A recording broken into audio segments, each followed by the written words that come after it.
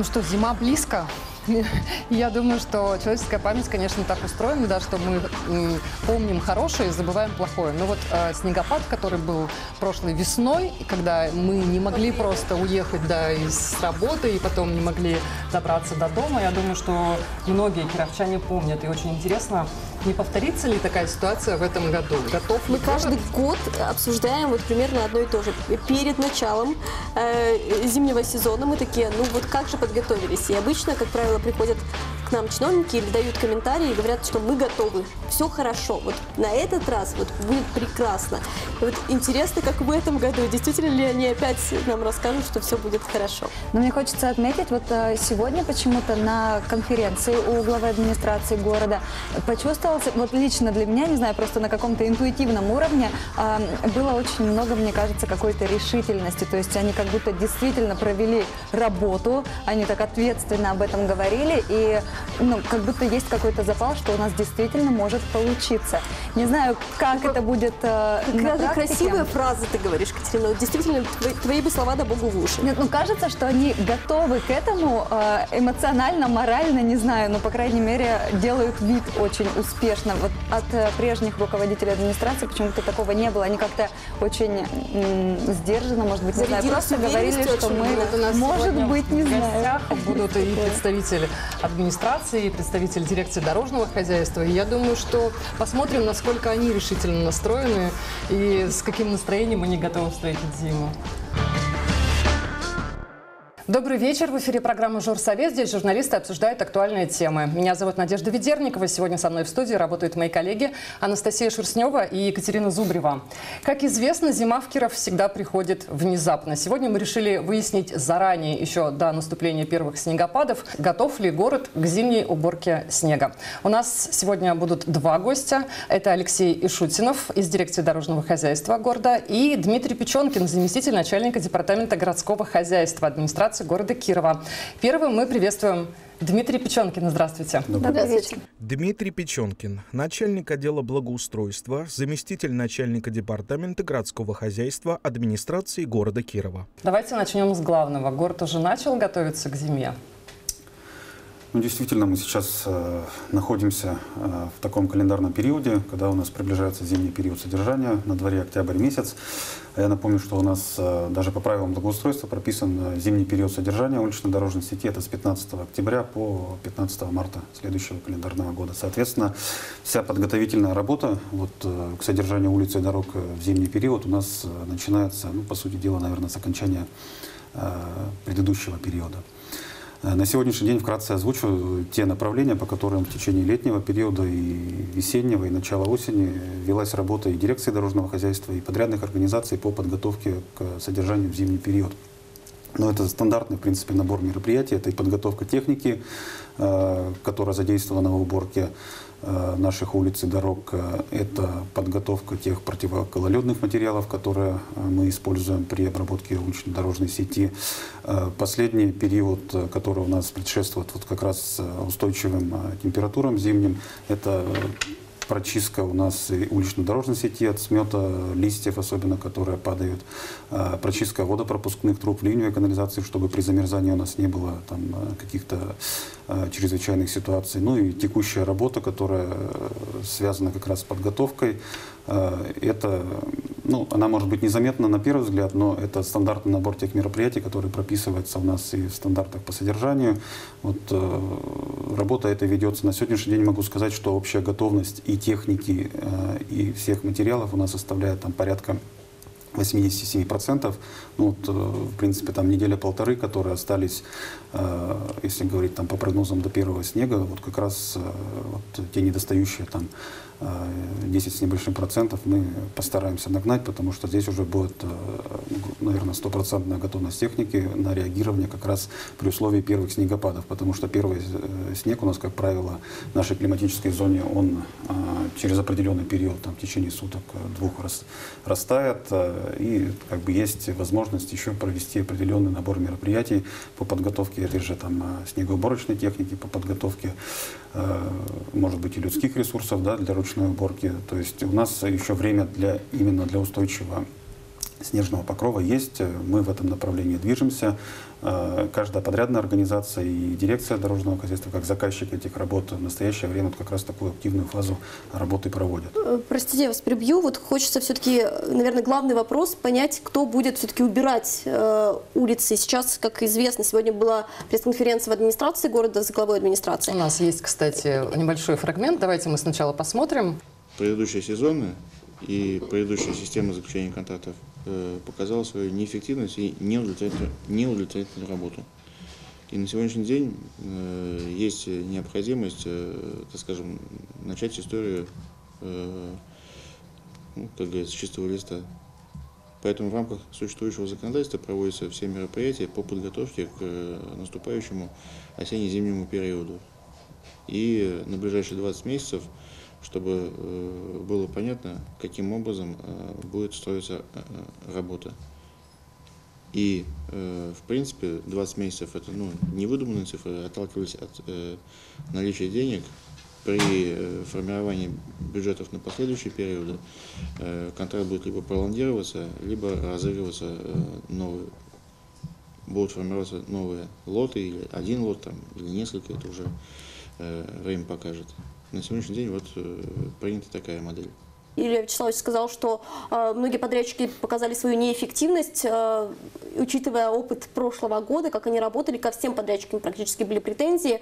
И сейчас уже аукцион объявлен на поиск нового подрядчика, и там озвучили сумму на более 800 миллионов рублей заплатят. Вот хочется понять, как, э, учитывая опыт прошлого года, да, учитывая, что были претензии, как будет строиться работа в этом году, и все равно подрядчики-то ведь те же, вряд ли придут другие. Ну, действительно, как сегодня и главой администрации было озвучено, у нас э, объявлена закупка на новый период содержания. Это будет 19-20 э, год, ну, как уже сказано, 20 месяцев именно объявлена эта закупка одним лотом. То есть будет предусмотрено, что э, в этот лот входит полностью вся э, улично-дорожная сеть города Кирова. Если мы берем пример предыдущих периодов содержания, вот на сегодняшний день мы э, имеем 7 подрядчиков. То есть между этими подрядчиками разделен город на несколько участков. И, соответственно, есть э, более крупные подрядчики, да, э, которые содержат там центральную часть э, города, есть более мелкие подрядчики. И вот о чем вы сейчас говорили, да, есть разница в их работе. И мы за последний, наверное, зимний период на конкретных примерах получили ну, достоверные факты, что некоторые подрядчики на самом деле не справляются с тем объемом выпавшего снега, с теми условиями, в том числе там чрезвычайными, когда снегопад. Ну, как пример сегодня приводилось содержание чистых прудов.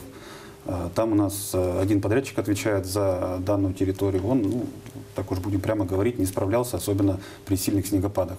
Соответственно, здесь э, можно сделать вывод, что у подрядчика нет э, необходимой, наверное, техники и вообще возможностей, чтобы содержать Если прошлый такой год титул. был неэффективный, этот год с этими же подрядчиками может быть эффективным? Значит, я еще раз повторюсь, будет один лот, а он будет когда? Это речь идет о Сейчас, сейчас объявлена сейчас. закупка. У нас угу. в конце октября торги, то есть э, в ноябре мы уже заключаем новый контракт. А сейчас, если, допустим, через неделю выпадет снег, то кто Через будет неделю, если выпадет снег, у нас есть э, действующие заключенные контракты. То есть это те подрядчики, которые у нас Но с ними работ... не, рас... не работ... работают на сегодняшний день. С ними не расторгнуты договоры. Мы находимся в рамках договорных отношений. То есть все обязанности, все условия контракта, которые прописаны, они обязаны соблюдать и реагировать на те погодные условия, которые будут Еще звучала такая интересная информация от господина Гутного, что по обоюдному согласию будут расторгаться. Как это? Они сами, подрядчики добровольно сказали, да, мы готовы не расторгнуть контракт. да. Они признаются, что они не справляются? Я думаю, что любой подрядчик, наверное, не признается во всем, что он там не сделал. Он, наверное, найдет э, много э, причин и объяснений, почему он это не сделал. Ну, можно, как вы считаете, сказать, что в этом году уже точно таких там сложностей, как в прошлом и, и даже в позапрошлом, не будет? Знаете, я, наверное, здесь так отвечу, что мы вот в течение летнего периода, начиная с весны, сделав выводы по предыдущим нашим э, всем э, таким плачевным ситуациям, да, где некоторые подрядчики не смогли даже выйти на ликвидацию э, последствий апрельского снегопада, попросту не имея там возможностей, то мы сделали определенные выводы и сформировали именно вот э, существующую конкурсную документацию, которую объявили и условия контракта таким образом, чтобы нам э, вот, ну, не получать таких белых пятен уже при реализации этого контракта. А как вы считаете, достаточно средств э, выделяется на уборку города, зимнюю уборку города? Но мы в любом случае сейчас действуем в рамках тех лимитов, которые у нас закладываются вот как раз в бюджете на 19-20 год. То есть это там порядка 823 миллионов. Которые... Это примерно столько же, сколько в прошлом году? Сколько, если сравнить?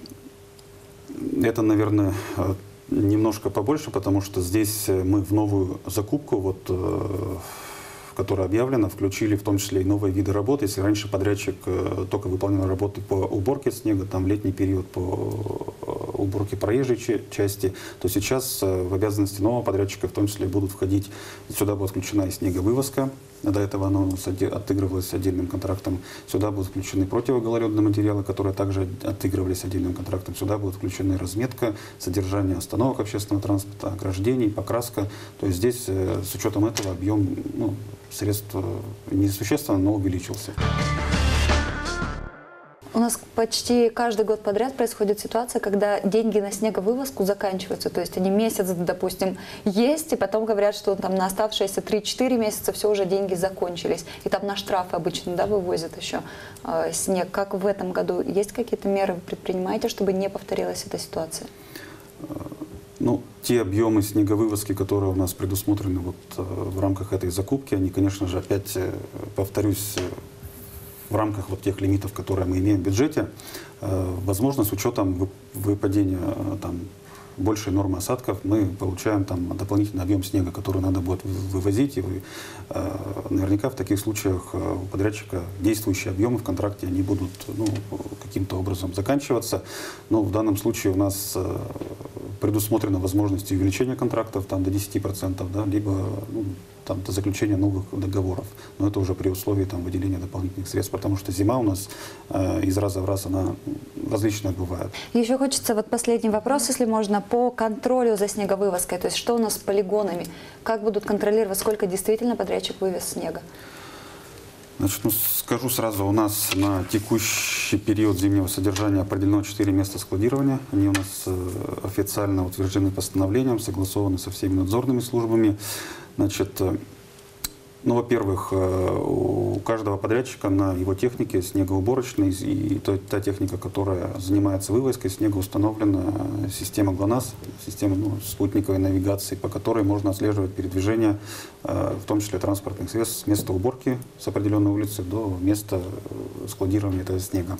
Во-вторых, на каждой снежной свалке с участием и представителей заказчика дирекции дорожного хозяйства и эксплуатирующей организации установлены э, либо камеры видеонаблюдения, по которым можно было отследить, э, что именно вот эта техника приехала с таким-то регистрационным номером, э, именно с, со снежными массами. Плюс на каждой снежной свалке предусмотрен учет там, с использованием ну, вот, грубо говоря, людских ресурсов. У нас, к сожалению, время заканчивается. Мы благодарим вас, что вы нашли время, пришли сегодня к нам.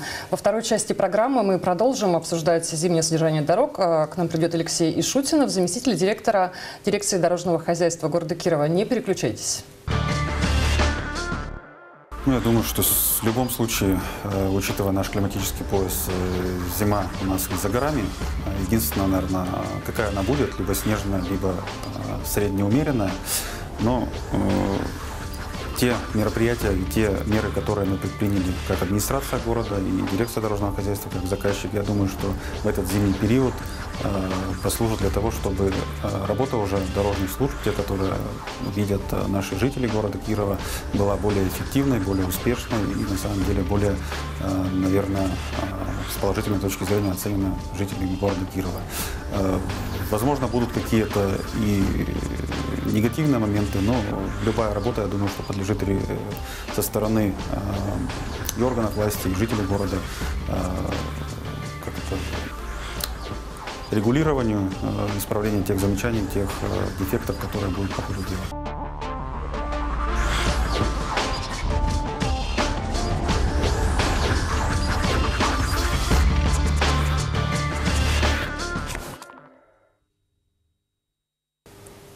Это Журсовет, и мы продолжаем. Сегодня мы обсуждаем зимнее содержание дорог. У нас в гостях Алексей Шутинов, заместитель директора дирекции дорожного хозяйства города Кирова. Здравствуйте. Здравствуйте.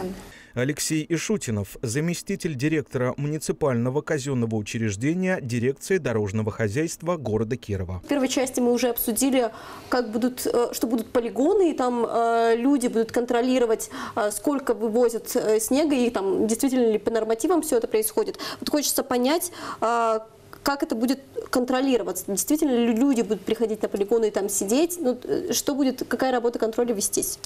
Контроль по уборке снежных масс, она будет производиться в первую очередь по э, GPS-навигации. То есть у нас в муниципальном контракте прописано один, одна из обязанностей э, подрядчика – это оборудовать все, э, все механизмы, которые задействованы на уборке уличной э, приборами GPS-навигации.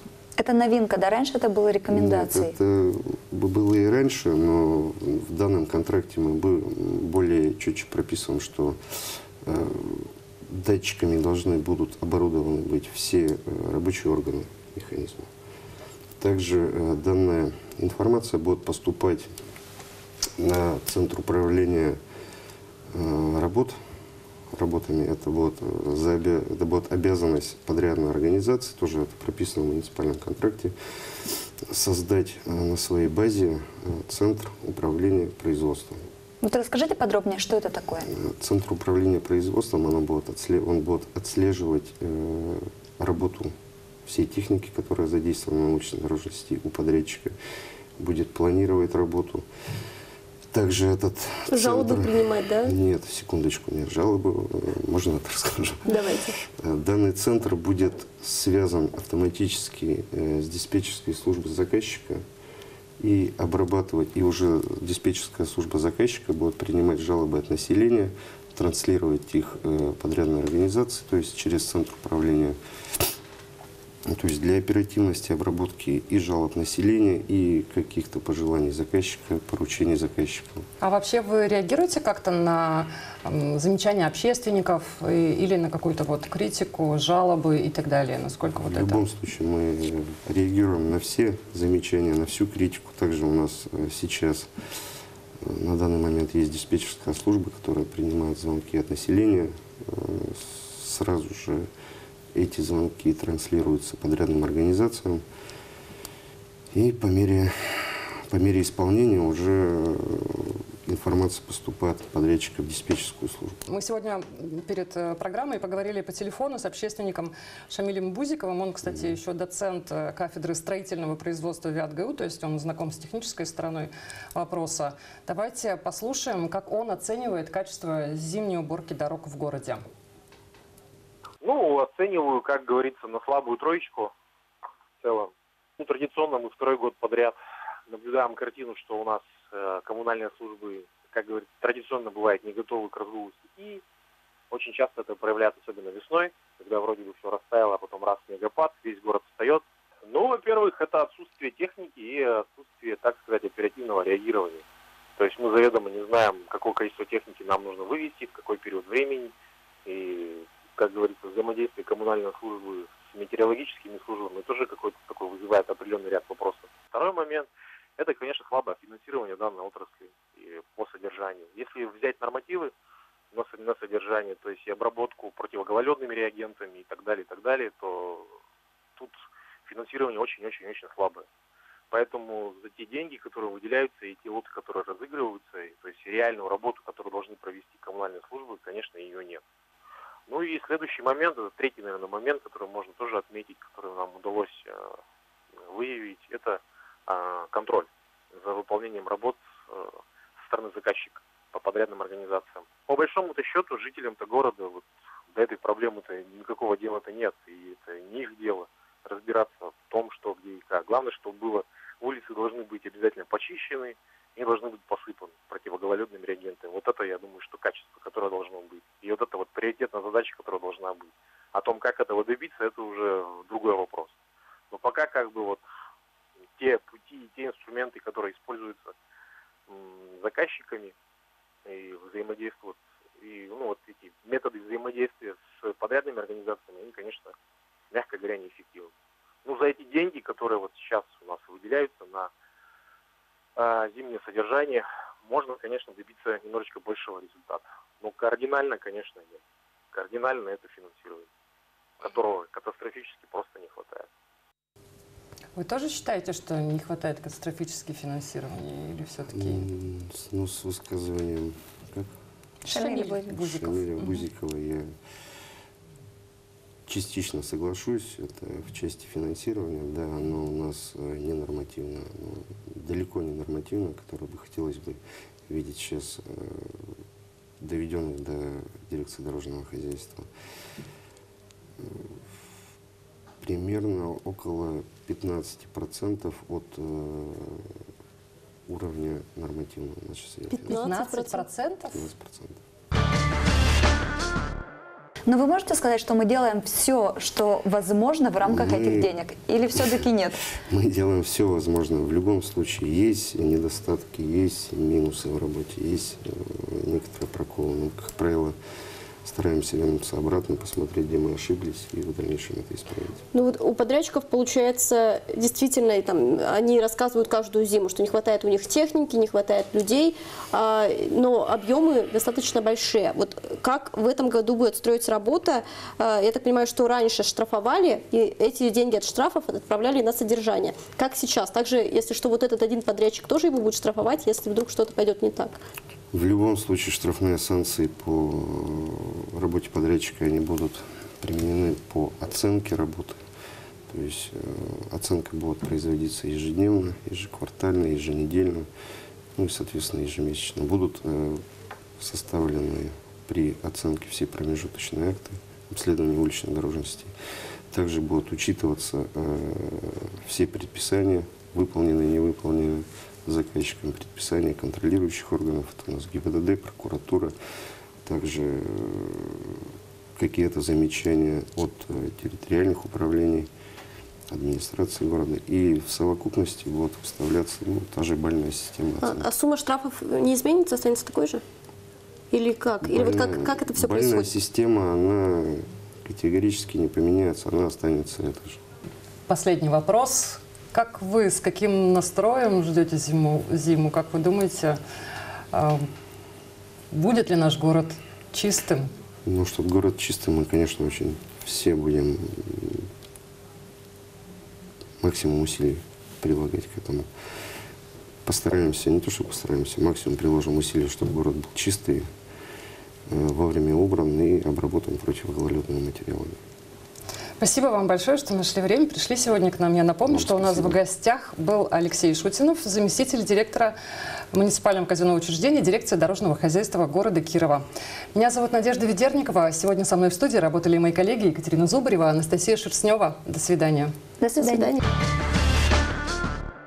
Хотел бы добавить, что э, подрядчикам, подрядчик, у подрядчика будет обязанность не только э, сделать свой центр управления производством, но и сделать дорожную патрульную службу, которая будет э, заниматься мониторингом транспорт- транспортно-эксплуатационного состояния уличной дорожности, которая позволит подрядчику, я думаю, оперативно и рационально распределять э, те транспортные потоки, которые будут прибирать наш город. В дальнейшем я думаю, что город изменится.